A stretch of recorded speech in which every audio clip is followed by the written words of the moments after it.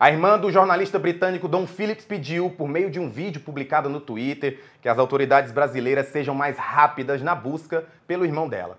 Ele e o indigenista brasileiro Bruno Araújo Pereira estão desaparecidos há mais de 24 horas no Vale do Javari, no Amazonas. Os dois faziam expedições juntos na região desde 2018. A gente tem um vídeo desse momento e a gente vai ver agora. My brother Dom has been living in Brazil with his Brazilian wife. He loves the country and cares deeply about the Amazon and the people there. We knew it was a dangerous place, but Dom really believed it's possible to safeguard the nature and the livelihood of the indigenous people. He is a talented journalist and was researching a book when he disappeared yesterday. We're really worried about him and urge the authorities in Brazil to do all they can to search the routes he was following.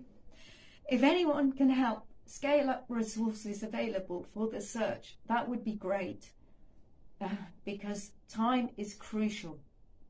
Here in the UK, my other brother and I are desperately worried. We love our brother and want him and his Brazilian guide, Bruno Pereira, found. Every minute counts.